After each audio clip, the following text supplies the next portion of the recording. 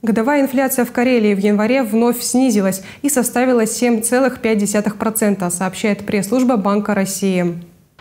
В частности, цены на некоторые продукты в республике в январе росли медленнее, чем месяцем ранее. Эксперты Банка России считают, что главным образом этому способствовало увеличение предложения на внутреннем рынке. В январе в Карелии цены на овощи продолжали расти, но уже меньшими темпами, чем это было в декабре.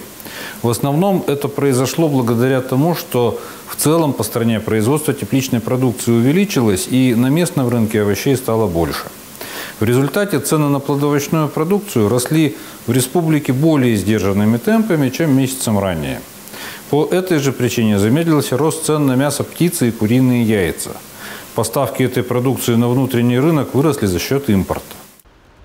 В то же время цены на непродовольственные товары в январе росли немного быстрее по сравнению с декабрем.